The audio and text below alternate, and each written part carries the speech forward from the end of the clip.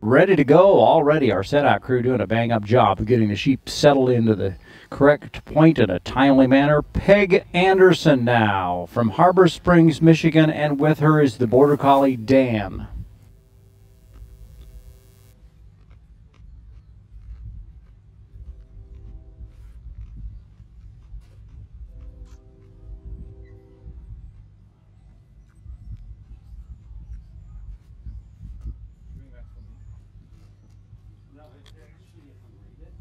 turn it. No, no, no, no. Turn it. Break the jar.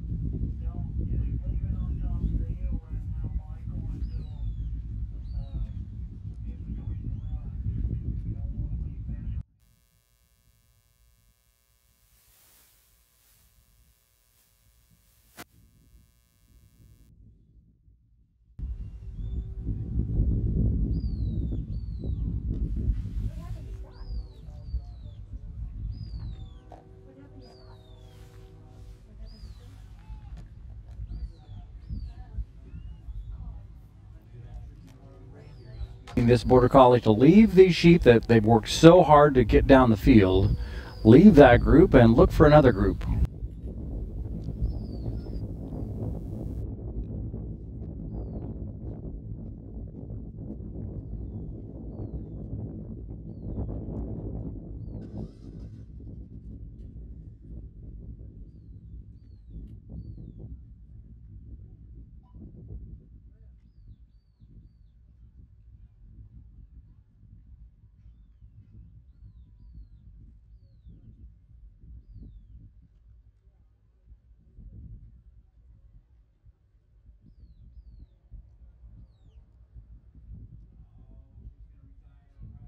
As you could tell, they were not on the same page today. Peg Anderson and Dan, that's a team we will be seeing down the road. Very successful, both of them, but not today. So with that, tuck those sheep away in the corner there. They sheep the top end. We'll see if they're going to put them away or bring them down.